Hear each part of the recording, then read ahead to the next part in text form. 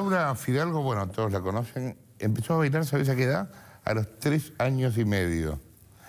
Y tuvo y tiene una carrera impresionante, aunque la parte de bailar en un momento se, se frustró hace muy poquito porque tuvo dos problemas en las rodillas.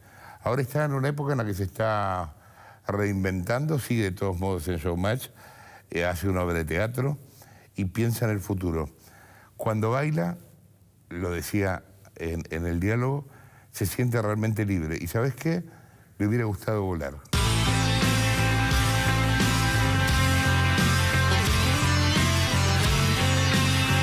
¿Cuánto me dice? 1,77 sin tacos. Con tacos me voy a 1,80. Ujú. ¿Y cuando eras chica eso era un problema? ¿Te gastaban por la altura y eso? Me gastaban, o sea, en cuanto a la danza, en, cuando empecé a bailar, empecé a los tres y medio, pero cuando me empezaron como a decirme, uy, sos muy alta, no servís para bailar, pie plano, eso me lo habrán dicho a los 14, 13, Ah, ya 14. adolescente. Pero ya era larga, después quedé, pero siempre fui Pero longilínea. es un problema la altura para una eh, bailarina, ¿no? No, para mí al contrario. Eh, Claro. Es más estético de- de- desde un escenario. Pasa que mm, en esa época, cuando yo empecé a bailar, es como que no había bailarines altos. Entonces era difícil trabajar con un bailarín, como partener los trucos, Ah, claro, que te vos más alta que el pibe. Claro, había, viste, muchos Claro. que a- ahora no, pero en ese momento sí, en el Colón, yo no soy del Colón, pero tomé con muchos maestros del Teatro Colón en forma particular. Y en esa época eh, me decían, no, y aparte de la altura, pie plano, hasta el día de hoy, esta mesa tiene más arco que mi pie. Entonces era como medio incómodo para bailar, no para mí. O sea, nunca tomé conciencia de eso porque como era eh, tanto amor y pasión por lo que hacía, era como, si era feo que me lo digan, ¿eh? Y sí, claro. Muy feo. Tenemos ahí fotos de vos chiquita, a ver. A ver, qué chiquita. Ahí, mira, ¿qué tenés? Nada. wow. Y ahí, ¿cuántos? Seis años. Claro. Seis. ¿Ves que ya era la, ya tenía como piernas larguitas, tenía tendencia. Pero bueno, ahí no, no, todavía no. ¿Y eso qué es? ¿Una, fiesta? Eso era una fiesta, sí, pero era más de, de disfraces. Ajá. Y. Y hay, no una que sos más adolescente, que no sé cuánto, ¿Cuánto cuánto tendrás ahí. Ahí ya, te- ahí ya estaba bailando en el, en el teatro. Esto fue en el Teatro Globo. Ahí que tenés, 11, Ahí- 12. No, ahí 7, 8. Ah, Ocho, claro. Bueno, ocho parecía años. más, parecía más. Sí. Por la altura. Por la claro. altura. Sí, sí, ahí fácil 8 años. Y ahí ya, este, mira, ese tutú me lo hizo mi nona, que ya falleció, pero horas eh, bordando. Y yo la ayudaba, no a esa edad, pero de- ya de más grande, eh, cada vez que me hacía los trajes de bailes, tutús, todo, ¿no? Ah, ¿te los hacía ella? Ella, con, con la Singer Mira. y en el patio de mi casa, mi mamá, ella y yo. ¿Y cómo es? Y bueno, y todos colaboramos siempre desde... ¿Cómo, ¿Cómo es estudiar a los tres años y medio? Y es... Es como un juego. Sí, totalmente, es un juego. Yo era muy, bueno, hasta el día de hoy, hiperkinética.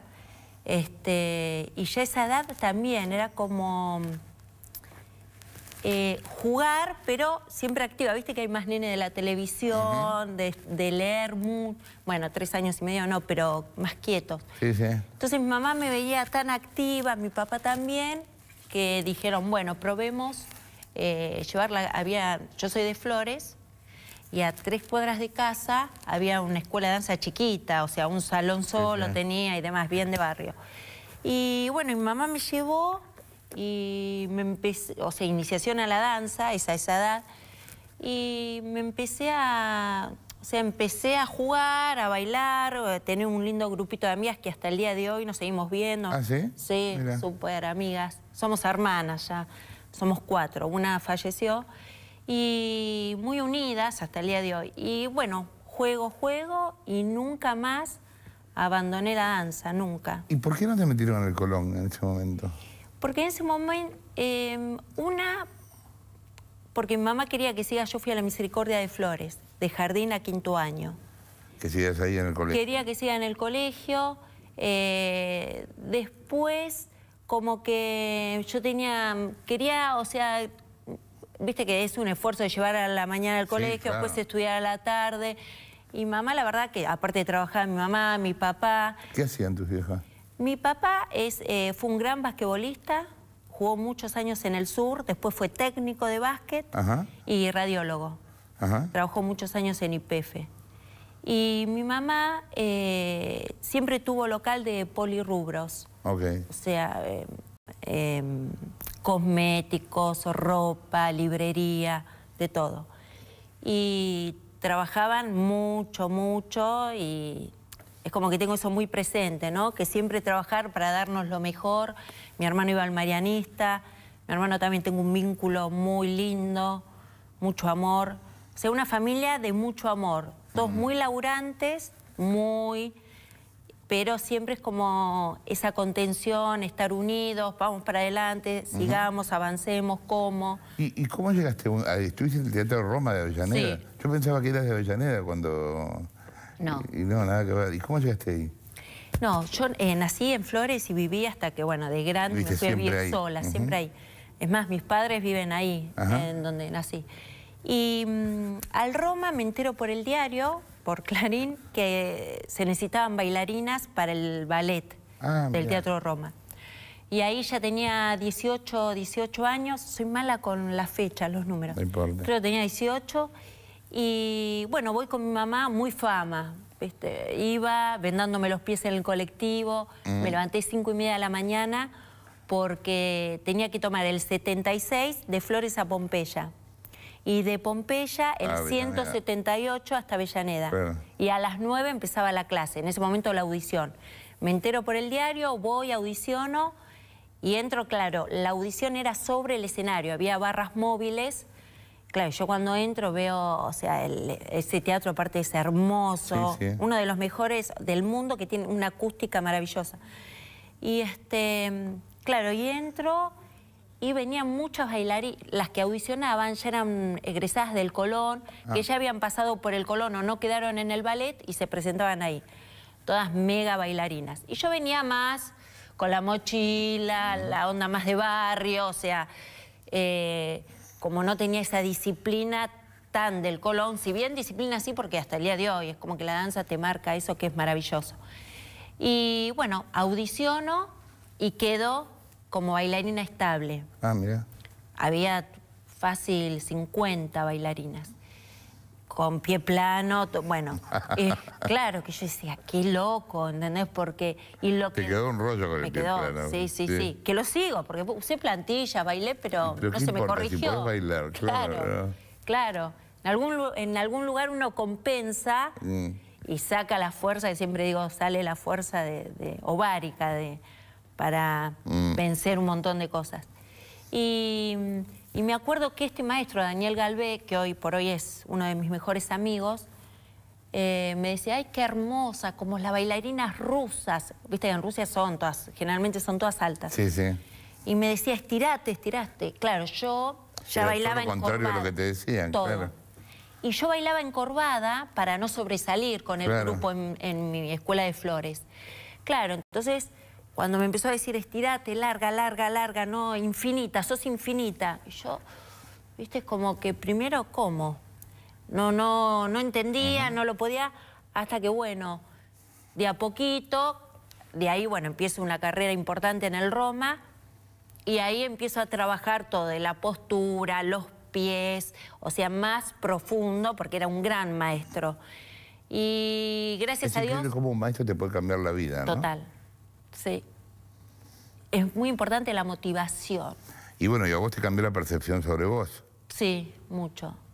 Claro. Sí, sí porque es como que tal vez antes me miraba, pero igual hasta el día de hoy soy muy autocrítica, muy, me cuesta el disfrute porque siempre le veo que Mm. falta, que falta, que falta. Pero cuando era chica también, o sea, me veía y digo, "Mm", como que no me gustaba. Tal vez porque tenía eso de tan alta, entonces trataba de achicarme y emparejarme con mis compañeras. Mm. Pero bueno, a medida que fui eh, entrenando, porque ahí empezaba la clase a las 9 de la mañana, hasta las once y media, 12. ¿Que iban todos los días? Todos los días. Ah, mira. Incluso los sábados hacíamos ensayo general. Ajá. Entonces, todos los días, cinco y media de la mañana, empezaba la clase a las 9, terminaba 11, once y media, media hora de break, yogur, manzana, light, y de ahí a la, desde la 1 hasta las 15, ah, ensayo. Sí, de 9 a 15 horas. Y ahí ensayábamos todas obras de repertorio como Paquita, Valladera, Quijote, Lago, intenso. Intenso pero precioso, porque nada, es lo que, lo que amaba y amo, entonces mm. todo disfrute. Pero sí requiere de estar muy presente. Y, eh, siendo chica, ¿qué te quita la disciplina de la, del baile? Si es que te quita algo o te terminas acostumbrando. No, no, te, te acostumbras, porque no me no era un esfuerzo. ¿Te gustaba hacerlo? Me gustaba, me gustaba. Entonces era, nada, es como hoy por hoy, cuando para mí, gracias a Dios, trabajo de lo que amo, pero no es, uy, tengo que, no me, no tengo una carga. No lo vivís como un laburo. No, cero. Digo, gracias a Dios eh, puedo trabajar de lo que amo, pero tampoco es como un trabajo. Si bien sí, obvio, el estar el esfuerzo, a veces sí estás cansada, pero a la hora cuando ya conectás y estás en el baile, es como, qué lindo, qué lindo, o sea, a mí me pasa que cuando estoy en lo mío es el único, esta nota o ensayando o actuando, lo que sea, es el momento, es de todo, de todo el día, es el único momento que vivo el aquí ahora, como el presente. Después, durante, que voy haciendo cosas, escuela, hablando, armando, siempre estoy pensando, y después, y después, y después, ¿qué sigue? ¿Qué sigue? No el... Ok. ¿Y, cuando bailas, ¿qué, pensás? Si es que pensás. ¿O solo sentís? Solo siento, no pienso. No. Ya tengo incorporada la coreo. Claro. Entonces... No la estás, obviamente no la estás pensando porque sería como dudar cuando andas en bicicleta, claro. no te caes. claro. total. No. Ahí estás eh, bailando tango, mira. Ah, mira, esto en Madero Tango. Ajá. Esto, eh, una hora hermosa, una hora que duró un año y medio. Estaba con el negro Lavie y Valeria Lynch. Ah, mira. Hermoso. Buenísimo. Sí, hermosa gente. Preciosos. Más allá de lo profesional. Y bueno, en ese momento hacía esto. Después estaba en ese momento estaba, durante el día ensayaba y entrenaba el bailando y de ahí me iba a hacer función ah, de martes a domingo. No paraba, hermoso, igual hermoso. O sea, ahí no estás pensando, estás sintiendo, estás, te estás dejando llevar. Sí, estoy con una historia interna em, que es lo que me hace eh, poder transmitir si yo me emociono, te emociono. Lógico. Si no me pasa nada, no te llega nada. Obvio. Entonces, eh, se me eriza la piel, porque pienso lo que me provoca el bailar, el movimiento, tengo una historia todo el tiempo. No es que pienso qué paso viene, qué paso. Es una unión de toda una historia. La música es la danza. La música que, escucho lo llevo al cuerpo y sale la danza. Es una melodía cuando bailas. ¿Y, qué pasa con tu estado de ánimo cuando llegas? Porque a lo mejor un día estás triste, otro día contenta. ¿Qué te pasa cuando bailas? ¿Te desenganchás de eso? Y ahí sano, sano. Sí. ¿Sanás? Sano. Mirá. Sí.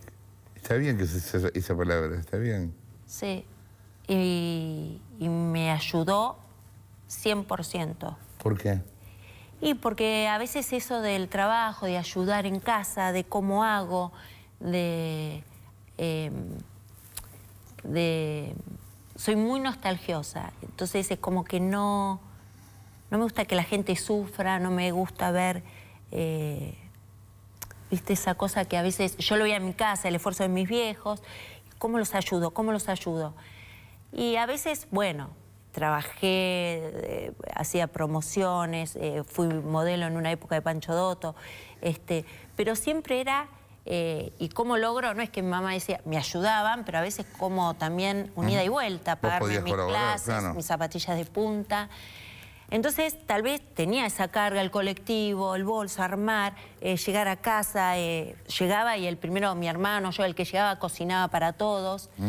Entonces, cuando entraba a una clase o a un ensayo, todas esas mochilas caían.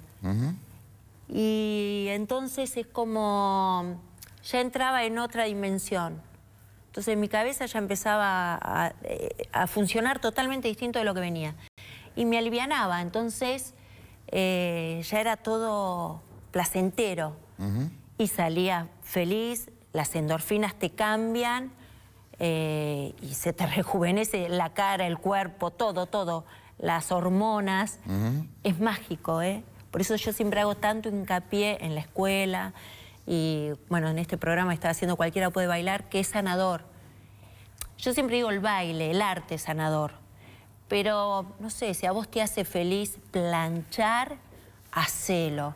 Al menos esa hora que planchás, si a vos te genera una desconexión, lo tenés que hacer, porque te, hace bien, listo, no hay, no hay tanto enrosque. Lo sentís más que pensar. no te, eh, para mí, cuando bailo, como no pienso, soy. Claro, ahí soy. Lo demás es como está bien, obvio, los códigos de la vida, el respeto, ser. Pero cuando estoy ahí, soy, soy, es mi alma. Esto es un vehículo, ¿no? Que, que, transporta mi alma. Y ahí es como si me desnudo y abro todo el pecho. Y la entrega es total. Para mí el público es como una gran familia. Nunca vi el público y yo como esa cosa, la cuarta pared, ¿no? ¿Viste esa cosa que dice, es la cuarta pared, el show debe continuar. El show debe continuar, sí, yo bailé eh, esguinzada, infiltrada, eh, volqué, tuve un vuelco en camino a San Nicolás, me dieron por muerta en crónica, me quemé. Bueno, cuando me quemé, obvio, Instituto del Quemado, no podía. Pero en cosas que, que el físico, bueno, me infiltraba y podía seguir, seguía.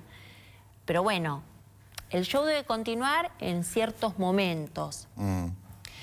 Este, pero después, eh, toda mi vida busqué... Siempre yo digo, los bailarines, a los bailarines nos salvó la danza, a otro de otras cosas. Sí, sí, sí, en mi caso, me libera a veces esa angustia que tengo, esa nostalgia. ¿Y nostalgia por qué? ¿Qué sentís que perdiste? No, no que perdí. A mí me pasa con, con esto, ¿no? De ver a la gente sufrir eh, o de alguna enfermedad o, me pasa a veces que digo, uy, qué lindo cuando vivía mi infancia, con mi... También el crecer, que es hermoso, pero estoy en casa, veo a mis padres ya más grandes, mayores, y me genera una angustia importante. No sé si angustia o nostalgia, angustia. Mm. O voy a Flores, a mi casa, y voy a mi habitación de chica y puedo estar un ratito, porque me agarra y me agarra. Ah, mira. ¿Y la tenés todavía, tu, cuarto? ¿Tu viejo mantiene en tu cuarto y no nadie lo usa? No, hay cosas. ¿Cosas tuyas de cuando eras chica? Sí, tal vez porque pienso, viste, todo ese esfuerzo, cómo logré todo, y tal vez bueno, en el momento estoy viendo, tal vez mi pierna, viste, me rompí los ligamentos. Entonces como que digo, wow, qué lindo momento y, ese esfuerzo, uh, qué tonta, pero bueno. No, pasa nada, está todo bien. Y me gusta, bueno, así en muchas cosas. O, ve, o cuando vi el traje, me contuve, pero me van a esos recuerdos de mi abuela. Y a mí eh, es como que soy muy pegada a los, a los, ¿cómo es? A los vínculos. Sí, sí. No a las cosas, no, nada. Esta copa, bueno, tomo, ya fue, listo, no, cero material. Sí a los vínculos. Me encanta, o, viste, el tema de las raíces, los valores. Ahora venía que me trajo el remisero, viste, un hombre grande que te diga, gracias, estás bien. Viste que un ah, poco se perdió todo eso. Y yo escucho eso, digo, ay, qué lindo. Es como que me recuerda a cuando era chica. ¿Y cómo viviste lo de las rodillas y toda esa historia? Y bravo. Mm. ¿Cómo fue? O sea, ¿por qué fue? ¿Cómo fue? Y fue, este... Eh, fue uno, bueno, mi primera rodilla en el bailando, o sea, estaba ensayando previo a la función, a hacer el Sí. show, ese día a bailar. Y nada, en un truco el bailarín me bajó y caí mal y se me corrió la rodilla del lugar y se rompió el ligamento. Y quedé ahí, tumbada. Y ahí, bueno... ¿Y eso no, era, eh, no es operable? Sí, me operé, me operé Ah, de las dos. de Me operé dos. ligamentos cruzados de la izquierda, Batista me operó. Y después, hace un año, estaba con mi expareja, este, ay, queda feo, bueno, con Pablo en su momento, Ah. Y andando en bicicleta, estábamos en Miami, y justo viste la bicicleta contra pedal, Ajá. y quise frenar, y me qué- fui qué de manera eje. tonta, por favor, porque Tontísima. bailando la otra todavía Claro. se entiende, pero Claro. andando en bicicleta. Decís, bueno, tiene una, una Claro, sí, sí, justificación. sí, sí. Y la otra me caí, pero también yo creo que es de, de mucha intensidad durante todos los años del trabajo. O sea, nunca paré. Me pararon, que, que eso es lo que a veces quiero entender. Una cosa es que yo diga, bueno, ya estoy adulta, ya trabajé mucho, ya bailé, freno. Y otra cosa es que mi espíritu es de 20. Yo me siento y tengo una energía que puedo bailarte dos horas. Pero bueno, lamentablemente este, me pararon. Eso es el dolor, que a mí me pararon. ¿Pero por qué decís me pararon? Porque una, no sé, No es una energía superior. No es que Sí. nadie te paró, digamos, Sí, nada. o mi- Pasó. Pasó. Sí, pasó. También está el azar, digamos, Sí. ¿no? Sí, sí, y lo lógico es que decir, bueno, tanto desgaste, tanto trabajo, se desgastan las articulaciones. Pero aparte es vos parte. misma, vos, bueno, me imagino supiste desde siempre que bailar se puede hasta determinada edad y después... eh, Sí. Bueno, pero una cosa es eso, que yo me retire y otra gente retira y un otra, accidente, digamos. claro, un accidente. Sí, Eso es me, como que digo, ay, ¿por qué si yo tenía ganas, tenía, sigo teniendo la misma voluntad? No es que se me fue la voluntad, viste, de no, Sí, sí, de ir- sí, no ir a mis clases, no entrenar, al contrario. Entonces digo, ay, qué pena, si yo estaba bárbara energéticamente, contenta, con el mismo entusiasmo de cuando era chica, con ese hambre, hasta el día de hoy. Siempre tengo hambre, ¿viste? De, y soy una busca nata. Siempre estoy buscando cómo hacer, cómo hacer, cómo hacer. Entonces, eso. ¿Y qué te, pa- qué te pasa ahora si bailas? No podés. No, no puedo bailar. ¿No podés directamente? No, directamente no. Porque ¿qué sentís en la rodilla? No, porque no está. Una, me operé hace cinco meses. Hace nada, Entonces, muy nada. poco, claro. Estoy en plena rehabilitación. Ok. Y ¿Estás haciendo sí, rehabilitación? sí, sí, todos los días. ¿Y qué haces? Y hago ejercicios súper tediosos. Eh, Viste, la máquina de cuádrice, después tenés, eh, bueno, que empujas a la pelota de pilates contra la pared, o sea, nada. O sea, Ah. el cuerpo está como inmóvil Claro. y es solo pierna, pierna, sí, sí, pierna. Igual puedo trabajar abdominales, trabajo espalda, brazos para mantener. Pero no es el desgaste del baile, lo aeróbico, eh, lo anaeróbico, es, eh, es muy tranquilo. mecánico y tranquilo. Es mecánico. Entonces esta no desenchufa. No, claro. porque claro. estoy sentadita Sí, sí, y, sí, sí. y es peor. Es un pájaro, un pájaro carpintero en la cabeza que está taca, taca, taca, taca, taca, taca. Vos decís, "Uf, andate, andate, andate, andate y, y seguís. Mm. Entonces se te hace como pesado, Claro. pesado. Pero bueno, no hay plan B. Hay que, tengo que fortalecer mucho los cuádriceps para... Y de la otra, 100% no quedé, ah, 60, 70. Pero ahora como estoy rehabilitando la otra, eh, de paso le doy a la otra que también me falta. Y no hay un, bueno, en cuatro meses, es depende de cada cuerpo. Sí, sí, sí, no hay un tiempo para... No, pero dicen, bueno, los futbolistas en seis meses, en siete, es distinto el físico del hombre, la genética, la musculatura, es totalmente distinto. Y también las lesiones, cada uno le pega como le pega la lesión. ¿Y, y cómo, cómo hiciste para aceptarlo? Mucha terapia, eh, contención por todos lados, amigos, familia, mucha. Y trabajo interno, como volver a esa guerrera, que a veces digo, bueno, ya está, volver a esa guerrera de cuando salía con la mochila, en bicicleta, de Flores, Flores a Avellaneda. Avellaneda, tomaba clases en donde veía, donde veía clases gratuitas en el Centro Cultural Rojas, tomaba clases. Ah, mira. veía en una plaza que daban clases de lo que sea, tomaba la clase, este, en el San Martín tomé clases, siempre cuando había clases gratuitas, aparte de Avellaneda, y en, estudios particulares.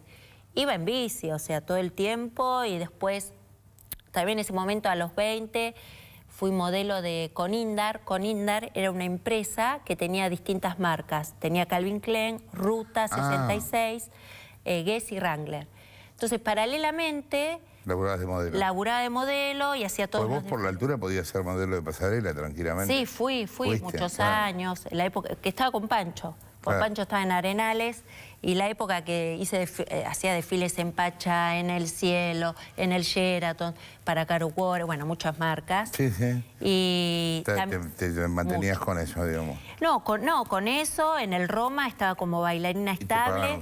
De ahí yo salía a las 3 de la tarde, me tomaba dos colectivos, iba a Carabobo y Alberdi, a la escuela donde la maestra me decía que era alta, papá. Igual yo seguía ahí. Seguía, seguía. caprichosa, no me importa. Seguía porque había conseguido trabajo. ¿Gana bien un bailarín? No. No, ¿no? No, no gana bien. No, es, no es tan valorado. Es ingrato porque vos tenés tanto esfuerzo físico que te dicen tenés que tener una alimentación adecuada, apropiada, eh, tenés que, sí, tenés que, tenés y podés, porque el pescadito, las proteínas, si podés. Por eso es mucho, vos bailás por amor y pasión, nada más. Y sabiendo que es corta, vos decís, bueno, soy odontóloga, tengo hasta los 60, 70, mientras que puedas con tus manos trabajar, es, el, es ¿Vos, larga. ¿Vos antes de que te pasaran las rodillas, qué pensabas? ¿Que qué sé yo, hasta los 50 podías bailar? Sí, como Maya Pizicaya bailó hasta los 60, ¿te acuerdas que vino y Bueno, sí, claro. Sí, este, sí, yo pensaba... Sí, aparte yo soy más yacera, contemporánea. El clásico yo siempre entrené porque es lo que te mantiene técnicamente, la limpieza ¿Te de los más esfuerzo el clásico? No, todo. ¿Todo es lo mismo? Todo es lo mismo todas las disciplinas, desde eh, español, folclore, mm. jazz, contemporáneo, hip hop, reggaetón. Hoy hay muchos ritmos urbanos que son fusiones. Todo requiere físico y entrenamiento, porque aparte de, de, tus clases tenés que entrenar el músculo para sostener después todo lo que hagas. Y peleas contra la gravedad, es mucho esfuerzo, es toda una vida, no te recibís de bailarín. Obvio, no es Como en nada, yo creo que todo evoluciona. En nada uno se recibe. Nada, no hay título. No, claro. Entonces, este... Pero yo en esa época, después, mirá lo que hacía, cuando que acá fue mi primera audición en el en Canal 13 para Tato de América. Ah, mira. ¿Y laburaste con Tato? Sí, hice Tato de América un año pero mira lo que había. Yo después de dar clases en Carabobo y Alberdi, que daba dos horas iniciación a la danza, tenía 19 años, y de ahí me iba a Cabildo y Juramento, otra vez colectivo, empezaba de 9 a 11, eh, ofrecía un servicio, viste el servicio de emergencia de Sociedad Anónima, llamaba por, hacía telemarketing, llamaba por guía, en esa época, pero la buena por guía llamaba a la gente y ofrecía el servicio. Por eso ahora cuando me llama le digo, no, te agradezco. Esa hincha pelota que llamaba a la gente. Exacto. Por eso cuando me llaman le digo, te agradezco, pero no, gracias, mi amor, ¿viste? Y le corto. porque digo, pensá cuando a mí me decían no, yo hacía, ay, no, una menos. Yo decía, por, viste, y era todo, bueno. Sí, sí. Y ahí estaba dos horas con el teléfono. Y salía 11, otra vez a Flores, Cabildo y Juramento, a Flores, mi mamá me esperaba con la cena, me bañaba y al otro día cinco y media de la mañana otra vez. Eso durante cinco años. O sea, Teatro Roma, daba clases, telemarketing y volvía a casa. Y los fines de semana hacía todos los desfiles y el showroom de estas marcas. Y después pasó el tiempo, bailarina, sin ser conocida, ingreso acá, Tato de América, que fui bailarina de Tato, con un ballet hermoso, que estaba la Yelín, bueno... Después de Tato de América pasa Good Show, Tato, ¿te acordás? A Telefe. Me llevan solo a mí del Ahí ballet. con Alejandro y con Sebastián. Sí, Sebastián Borestein, Ale Varela, Emilio eh, Cartoy Díaz, divina, gente hermosa. Tato, crack. Sí. Y tenía esa humildad de los grandes, bueno, en todos sentidos lo saben. Y de ahí hago Good Show.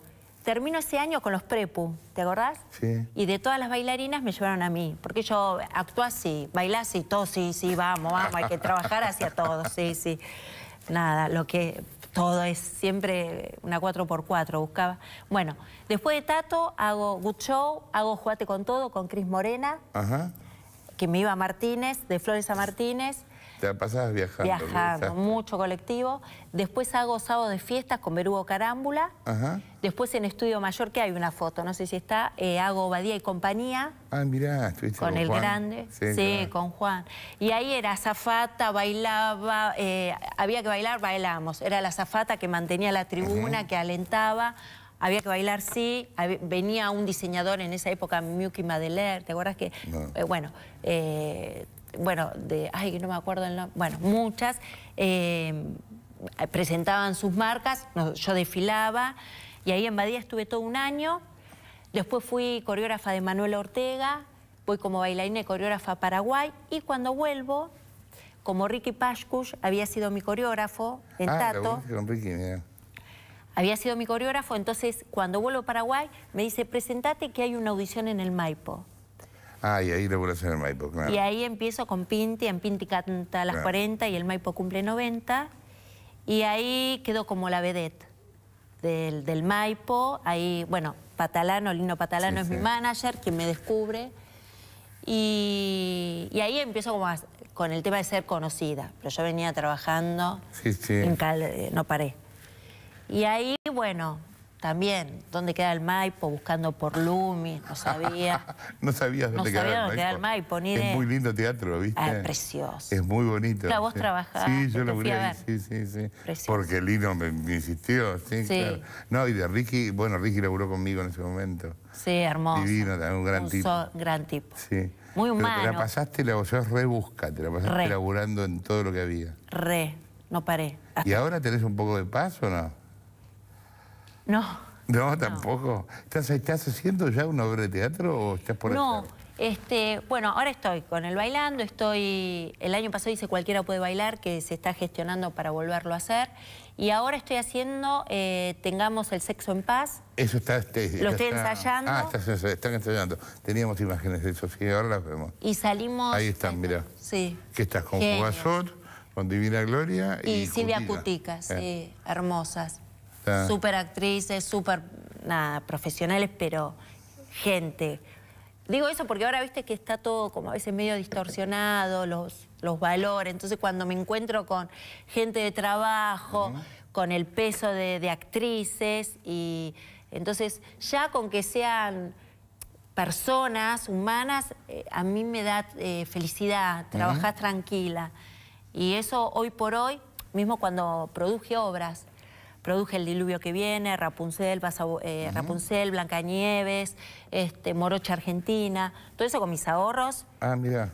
con mis ahorros. ¿Cómo te fue? ¿Bien con eso? Sí, sí, en algunas me fue muy bien, en otras salí, pero siempre en el afán de hacer, De hacer. claro. O sea, no me interesaba, no nunca me interesó, me voy a comprar esta ropita, esta marca, siempre era en el trabajo la producción. Leí, leí por ahí o te escuché eh, hablar del tema de tener chicos, que, que- que habías tenido como, como una ilusión de eso y que no, no se podía. Mira, eh, como te decía, siempre aposté a, al trabajo, siempre. Este, siempre, igual siempre estuve en pareja, porque a mí me gusta estar con mi hombre, o sea, llegar a mi casa, compartir. Es como que sola no, no, Claro. no me gusta. Entonces, este, en- siempre trabajé, trabajé, representé al país, estuve en España, Francia, San Pablo, Paraguay, Uruguay, bailando, acá y allá, entrenando y haciendo función. Y a mí eso realmente, eh, siempre fui feliz con esto. Entonces, yo decía, bueno, yo voy a tener tiempo, yo voy a tener tiempo, tiempo, tiempo. Cuando pare un poco, lo voy a hacer. Pero bueno, lamentablemente es como que la mujer tiene, no como el hombre, Sí, tenemos un reloj biológico, biológico, que yo como todo lo puedo, lo que me propongo voy y lo, lo consigo y lo cumplo. No, bueno, pero tenías también el tema de tu, tu abuela, tuvo hijos. A los 49 tuvo a mi tío, re. Y, que y pensaban en que esa época no había nada. eh, Nada. No, no podía hacer ningún tratamiento de nada. Nada, natural. Mira, La nona, o sea, la mamá de mi mamá. Y siempre tuve eso también en la cabeza. claro. Viste, bueno, aparte gracias a Dios nunca tuve como una enfermedad importante, o sea, no tomo, no fumo. Igual no tiene nada que ver, nada, pero, viste, vos decís, bueno, entreno, soy deportista en... Sí, sí. Digo, voy a poder, mi abuela a los 49, yo, sí, sí, sí, sí. Y, y en un momento estuve con, bueno, con otra pareja, con Juan, estuve ocho años, pero trabajaba, aparte porque vivo del trabajo, vivo, no es que vivo, sostengo, colaboro mucho con mi familia, mi hermano también, mi hermano es licenciado en turismo, nada que ver con el medio. Eh, este, entonces, tenía que trabajar, pero aparte mi prioridad siempre fue mi carrera. Y ahora cuando me rompí la primera pierna, estaba en pareja ahora con, mi última pareja, digo, bueno, es el momento. No puedo bailar, este, ya cuarenta y pico, es momento. Y cuando fui, bueno, me voy a hacer los estudios, me daban que ya... Eh, que no se podía. Claro, ya estaban envejecidos los óvulos. este, entonces, en un momento en terapia, a los treinta y pico, yo lo había hablado, y Silvia, que es mi coach, psicóloga Silvia Marino de, muchos años, me decía, congela, congela. Mm. Yo no, Silvi, aparte hay que mantener, es todo también gasto, gasto. Entonces digo, no, Silvi, yo cuando quiera, sí, y cuando lo sienta, porque para mí es producto del amor. Sí, obvio, claro. Que encuentre el amor de mi vida y que diga, es el hombre que quiero de tanto amor generar. Lo más lindo que dicen que es tener un hijo es lo más apreciado. Y digo, bueno. Y bueno, y claro, cuando voy, bueno, ya estaban como envejecidos y dije, bueno, no. Lo hablé en su momento sí, un poco digo, uff. Pero si me voy muy adentro también no me quejo, porque yo prioricé la carrera. Sí, claro, te elegiste. Elegí. Entonces, nada, lo elegí, bancatela. Claro. Entonces ahora no llores, porque realmente cuando y estaba en pareja para poder tenerlo en sí, su sí, sí, Y yo le decía, mirá que yo tengo que seguir trabajando y quiero esto. Entonces un poquito dije, uy, yo que, aparte soy de ser madre, o sea, tengo ya esta cosa natural de madre. ¿Tu hermano tiene hijos? Mi hermano sí, mi casado, mi cuñada Ani es pediatra, neonatóloga, y tengo tres sobrinos hermosos, perfectos. ¿Y no se te ocurrió adoptar? No, no, no. Por ahora, por ahora nunca se sabe, ¿no? Pero por ahora no. No, no. Y lo veo bárbaro, ¿eh? Mm. Este, veo el amor de, Conozco, tengo una amiga que tiene una hija que es un corazón caminando, pero por el momento no. Quiero... A mí me gusta estar en pareja y, recién, ahí, tomar una decisión. Eh, sola no.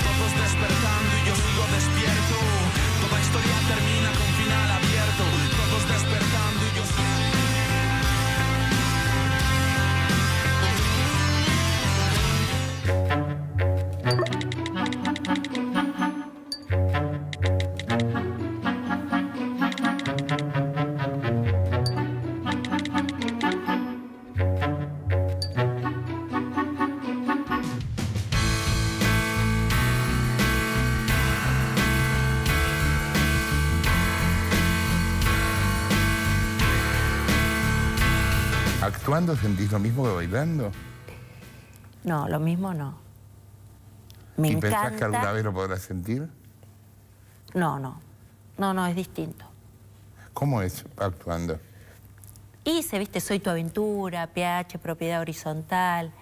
Hice unos capítulos en Son Amores, mismo en todos los espectáculos con Nito, papá. Siempre algo actoral hice. Pero lo complementaba, después de hacer un cuadro bailado, bailado, bailado, actuaba. Ahí me encanta esa fusión, como la comedia musical. Este, entonces ahí es como que creo que mi cabeza compensaba. Lo de la actuación me encanta porque creo un personaje, lo trabajo, hice los grimales.